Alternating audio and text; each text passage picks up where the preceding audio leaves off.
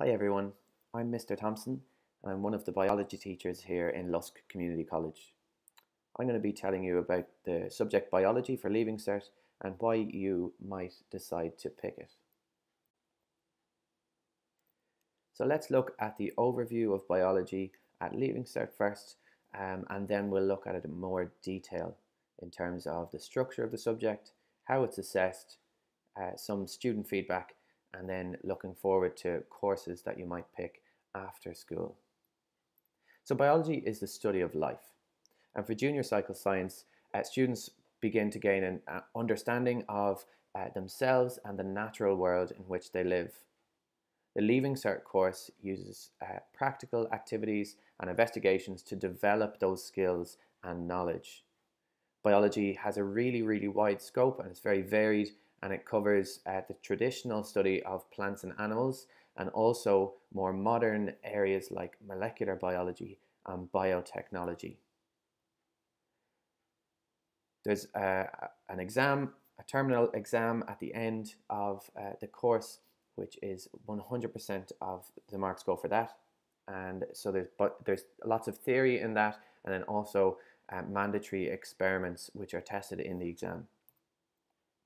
There's three parts in the, in the exam, section A, B and C. Section B there you can see is completely um, devoted to those experiment questions. Section A, short answers. Section C, long essay style answers. So how is the course structured itself? So there's three units. The first one, the study of life. This is where we study ecology and food science. Ecology uh, being the interactions between organisms and between organisms and their environment. The second unit is the cell where we look at the basic unit of life. Uh, there's within this there's genetics, photosynthesis, respiration, and we look at enzymes as well as some other things. Finally, unit three, the organism. So this is the study of body systems, um, plant biology, and microbiology. Lots of students find this the most interesting because it's uh, relatable as there's human biology um, in here. Just looking again at assessment, it's 100% the final exam.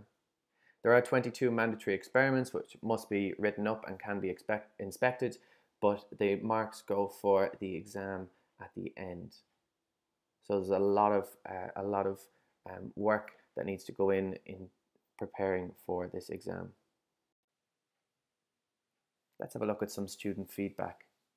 The feedback in general is that biology is really interesting. Students find that uh, the content is, is relatable to them and the, the world in which they live, and so they find that really interesting.